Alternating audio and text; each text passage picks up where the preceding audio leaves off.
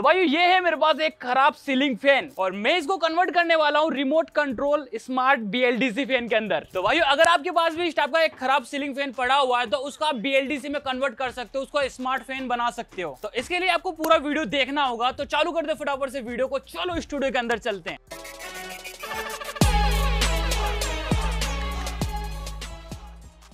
भाई, आप देख सकते हो, ये मेरे पास एक खराब फ़ैन है और यहाँ पर जो इसकी मोटर जल चुकी है और यहाँ पर देख सकते हो, ये जो है पूरा ओके है, बस इसका मोटर खराब हो गया है। तो हम यहाँ पर क्या करेंगे, सबसे पहले इस फ़ैन को ओपन करेंगे।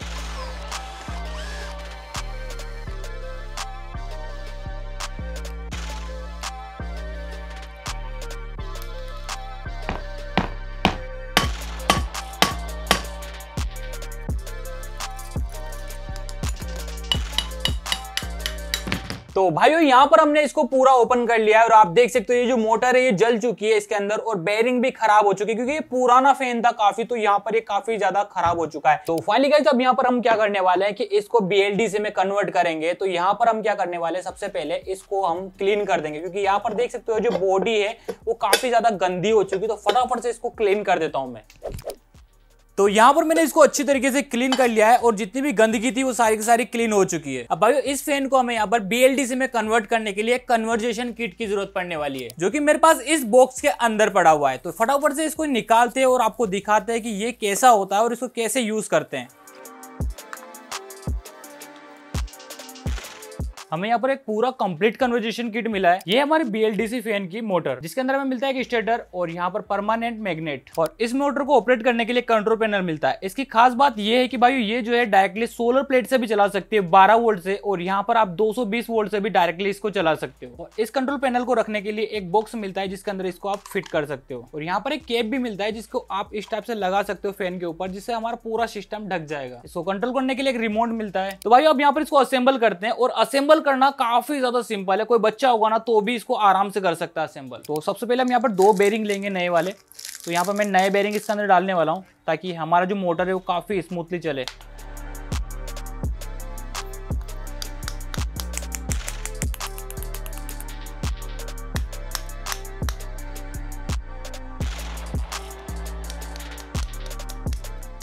अब भाई यहाँ पर इस बेरिंग को हम इसके अंदर लगा देंगे।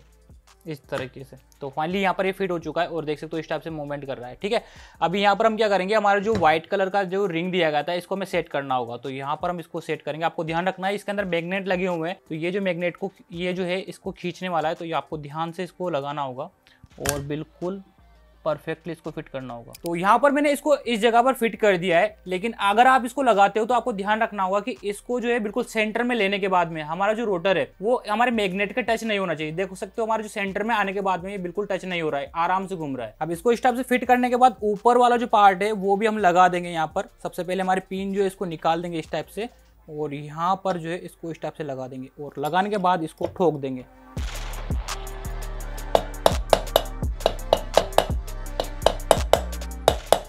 अभी भाई, यहाँ पर मैंने इसको ठोक दिया है। अभी यहाँ पर एक प्रॉब्लम आ रही है इसके अंदर कि आप इसको कितना भी बीच में सेंटर में ले लो, लेकिन ये जो देख सकते हो मैग्नेट से हल्का हल्का टच आवाज़ आएगा आपको इस टाइप से। ये देखो। तो इस प्रॉब्लम को कैसे सोल्व करना है, मैं आपको दिखा देता हूँ। जैसे आपको देखना है कि हमारा मैग्नेट कहाँ पर टच हो रहा होगा। आवाज़ सुनकर हम पता लगा सकते हैं। हमें पता लग रहा है कि यहाँ पर हमारा टच हो रहा है तो इसके जस्ट उल्टी साइड में हमें देना होगा यहाँ पर।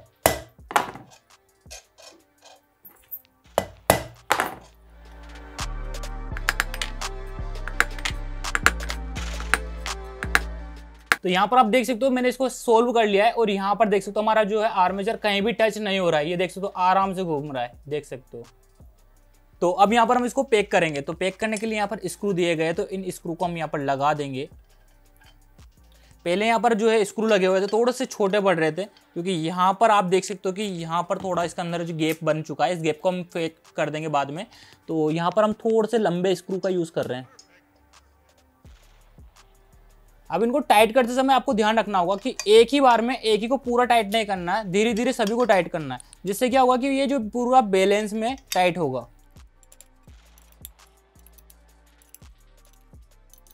तो यहाँ पर मैंने इस मोटर को फिट कर दिया और आप देख सकते हो कि बिल्कुल भी आवाज़ नहीं कर रही है। इसको बिल्कुल परफेक्टली हमने फिट किया है। अब इसके अंदर हम लगाएँगे कंट्रोलर। भाई इस कंट्रोलर की खास बात यह है कि ये जो है 220 वोल्ट से भी चल जाएगा। आप देख सकते हो यहाँ पर लिखा हुआ 220 वोल्ट और यहाँ पर लगा हुआ स्टेप डाउन ट्रांसफार्मर। क्योंकि भाई, ये जो मोटर है, ये चलने वाली है बारह वोल्ट के ऊपर। बारह वोल्ट के ऊपर ऑपरेट होती है। तो यहाँ से दो वोल्ट को ये कन्वर्ट कर देता है डी बारह वोल्ट के अंदर। और अगर आप डायरेक्टली बारह वोल्ट की सप्लाई देते हो, इसके अंदर सोलर प्लेट की या फिर बैटरी से चलाते हो तो यहाँ से डायरेक्टली हमारी जो पावर सप्लाई है यहाँ पर चली जाएगी और मोटर को यहाँ पर इससे पावर मिल जाएगा तो भाई आप देख सकते हो यहाँ पर बारह वोल्ट से ये ऑपरेट हो सकती है तो ये काफ़ी कम करंट खींचती है अगर आप इसको अपने घर के अंदर लगाते भी हो तो भाई आपका जो है लाइट बिल काफ़ी कम आएगा तो अब इसका कनेक्शन हम यहाँ पर करते हैं यहाँ पर ये जो पिन दी गई है ना भाई इस पिन के अंदर इसको लगाना होगा तो अब यहाँ पर हमारे जो पिन है इसको लगा देते हैं इस टाइप से प्लग एंड प्ले का यहाँ पर ऑप्शन दिया गया है कि यहाँ पर आप दस पिन को लगाइए और यहाँ पर इसका पावर सप्लाई दे दीजिए और हमारा जो काम हो गया अब यहाँ पर इसका नीचे वाला जो पार्ट है इसको हम लगा देते हैं तो यहाँ पर हम इसको हिसाब से लगा देंगे, ठीक है? और यहाँ पर इसको हिसाब से लगा देंगे इसके अंदर, ताकि ये जो है पूरा सिक्योर रहे, इसके अंदर कोई दिक्कत ना आए। यहाँ पर इसको हिसाब से लगा देंगे। और यहाँ से आप देख सकते हो तो ये जो है गिर गया मेरा से जो टूट गया है वैसे ये पूरा अच्छा तरीके से आता है मार्केट से लेते हैं तो। लेकिन ये गिर गया, मेरे हाथ से टूट गया। अभी यहाँ पर इसको स्टाफ से लगाना होगा तो थोड़ा सा हम ऊपर की साइड में उठाएँगे इसको और यहाँ पर फिट करेंगे। लेकिन इसके अंदर फिट करने के लिए कुछ भी नहीं दिया गया है तो हम यहाँ पर दो होल कर देंगे और जिप टाई से स्टाफ से इसको बाँध देंगे। अब यहाँ पर इसलिए उठाए इसको ताकि जो बॉडी है, इससे टच ना हो और यहाँ पर ये चले तो आवाज़ ना करें।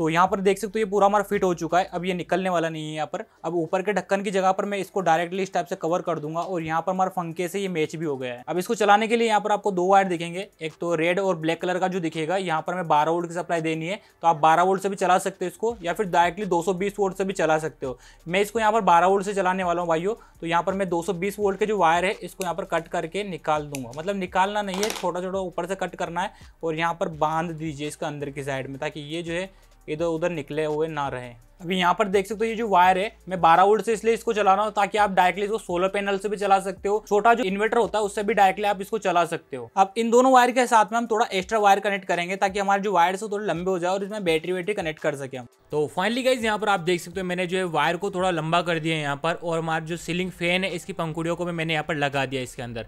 अब भाई यहाँ पर हम क्या करेंगे, इसको हमारे सीलिंग के ऊपर यहाँ पर टांग देंगे और उसके बाद यहाँ पर इसको ट्रायल करके देखेंगे। और भाई जब मैंने इसको चलाया ना भाई तो आपको यकीन नहीं होगा, ये बारह वोल्ट की बैटरी के ऊपर भी इतना ज़्यादा स्पीड से चल रहा था जैसे हमारा घर का फंका होता ना, वो भी मतलब मुझे लग रहा था कि स्लो चलता है इसके आगे। यहाँ पर मैंने एक बारह वोल्ट की बैटरी ली है भाई, और इसका कनेक्शन यहाँ पर कर दिए डायरेक्टली हमें प्लस माइनस कनेक्ट करना है इसके अंदर, और यहाँ पर हमारा जो रिमोट है, इसमें आप ऑन ऑफ़ का स्विच देख सकते हो। स्पीड के लिए one two three four six speed तक देख सकते हो। और डायरेक्टली बीच में जो बटन दिया गया उससे डायरेक्टली आप इसको फुल स्पीड पर कर सकते हो। नीचे की साइड में आप देख सकते हो, एक घंटे के लिए चलाना चाहते हो, दो घंटे के लिए चलाना चाहते हो, तीन घंटे के लिए चलाना चाहते हो तो भी आप चला सकते हो।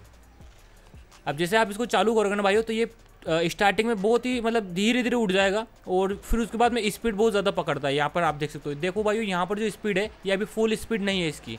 और भाई साहब, आप देख सकते हो यार, बारह वोल्ट की बैटरी पर ये जो पंखा है, इतनी स्पीड से चल रहा है B L D C fan मतलब ये बहुत कम करंट में चल जाता है और काफ़ी अच्छी ठंडी हवा भी देता है। देख सकते हो। भाई साहब, यहाँ पर भाइयों अगर आप इसको 220 वोल्ट से भी चलाओगे ना, इतना ही स्पीड से घूमेगा ये, और अगर 12 वोल्ट की बैटरी से भी चलाओगे तो भी इतना ही स्पीड से घूमेगा।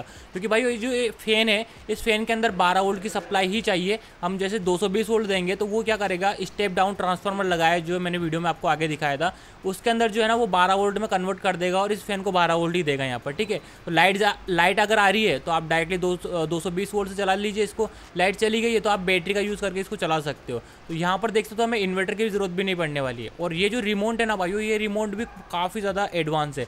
यहाँ पर जैसे आपने देखा हो टीवी का रिमोट जो होता है, उसको टीवी के सामने ले जाना पड़ता है, और उसके बाद में हम चालू वो बंद कर सकते हैं।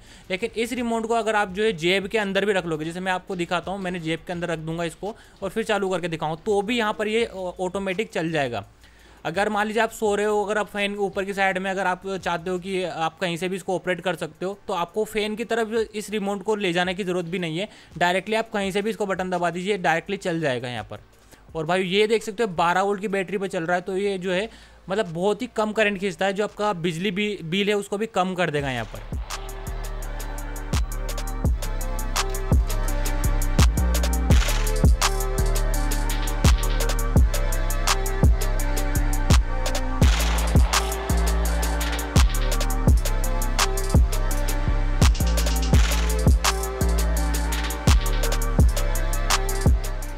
गाइस आपको ये वाला वीडियो कैसा लगा मुझे कमेंट करके ज़रूर बता देना। अगर अच्छा लगा तो लाइक कर देना शेयर कर देना चैनल पर ना तो सब्सक्राइब ज़रूर कर लेना। और अगर आपको किसी नए टॉपिक पे वीडियो चाहिए तो मुझे कमेंट करके ज़रूर बता देना। मैं ज़रूर आपके लिए बनाऊँगा। तो मिलते हैं नेक्स्ट वीडियो के अंदर। जय हिंद, जय भारत। बाय